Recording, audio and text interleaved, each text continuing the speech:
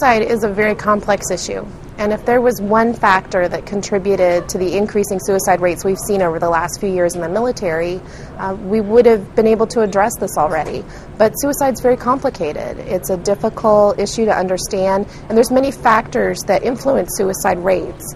And so I think it's really important for us to look at how do we encourage prevention by looking at how do we support help seeking, how do we encourage destigmatization of mental health treatment so that people who are struggling and in trouble can get help and can get back to their unit and back into fighting form and be there to be a, healthy contributing part of the military. And the military is like every other large organization. It's a large institution, it's a large culture.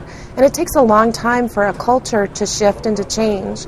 And so we're hopeful that what this means is that there is more of a culture of help seeking and support for mental health. I think we need a little more time to look at the numbers um, over time. Um, we certainly also watch those numbers very carefully at TAPS and look at our own intake numbers as well. And, you know, for us, what we're seeing is increasing numbers of families coming to TAPS grieving a death by suicide, looking for care and support.